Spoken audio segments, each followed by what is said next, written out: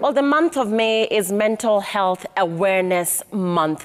And tonight we focus on bipolar disorder, which is a mental health condition that causes extreme mood swings that include emotional highs and lows. So, what is it like to live with bipolar disorder?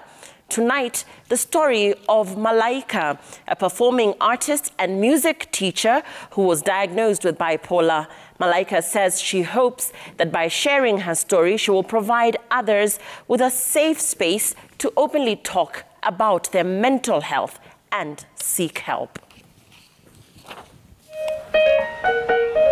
Class is in session.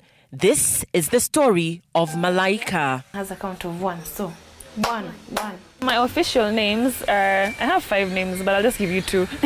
Joyce Mungai. Malaika came from, I had a freak accident when I was uh, seven years old. Yeah, there's, our car knocked, knocked me yeah, in, in, in our parking at home in Kileleshwa, yeah. And I almost died, yeah.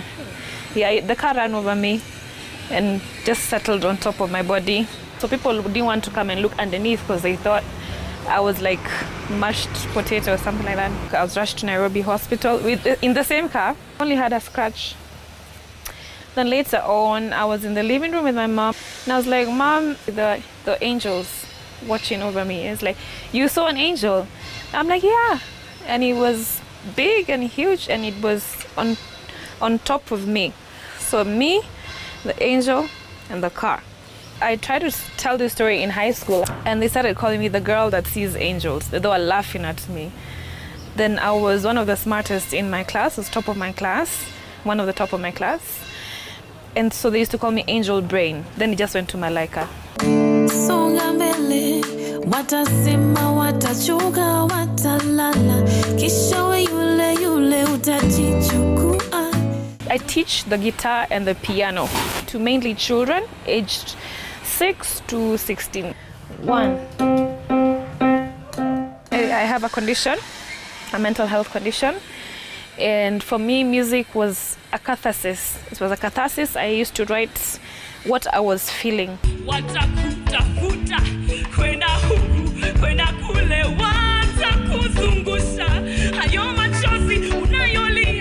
Those who know bipolar, there's manic and depressive states. So I was going through the depressive state of the bipolar, and I just had triggers. I was alone in the US with my sister. She didn't know what to do. She sent me back on a plane to Kenya. I came back in a wheelchair, and I went. I went walking. I went walking and talking the way you seen me talking. I would sit in a corner, eating, cooking chocolate, and it's very bitter in a dark corner. Then, like, if you open and there's light, I would start shaking. Then I was not going to class.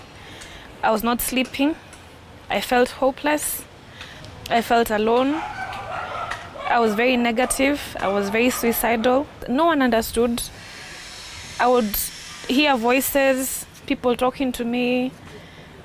I would not be able to get out of bed. Like, Lilia, my body felt so heavy, like someone is sitting on me, and my head, like, there's a cloud. They say depression is like there's a heavy cloud, you and you're walking with it everywhere you go. Showering was a problem. My nails grew long. Nimeitwa mwenda you know, nimeitwa nimerogwa. Like, look at her, she's so pretty, she's talented, but just look at, yani God can't give you everything. People talk very badly. It's very hurtful to be called mwendawazimu. It is very painful, and I'm not mad. I'm very sane. I just, I'm living with bipolar. She had crashed into crippling depression and was virtually non functional. So I'm on medication every morning and every night also to help me sleep. Because sometimes I can go three days without sleep, which is not normal. yeah, it has other side effects. Like sometimes I'm just out of it. Sometimes I miss important meetings. Sometimes I just don't feel like seeing anyone. Clinical psychologists say that while there is no cure, bipolar can be managed through therapy and medication. There are different causes. Uh, predominantly, um, it's been seen to be genetic. Yeah, so if a person has a parent who's got bipolar, they have a high chance of also developing bipolar at some point in their life. So predominantly we see about the age of 25 as adults. Yeah, you'll find that someone may develop bipolar generally. Minim, crotchet, and semi. Very good. Bipolar disorder is essentially the cycling between mania or an elevated mood with increased energy, grandiose thoughts and beliefs, rapid speech, recklessness, increased libido, agitation and depression, or feeling down, hopeless, worthless, disinterested in previously enjoyable activities.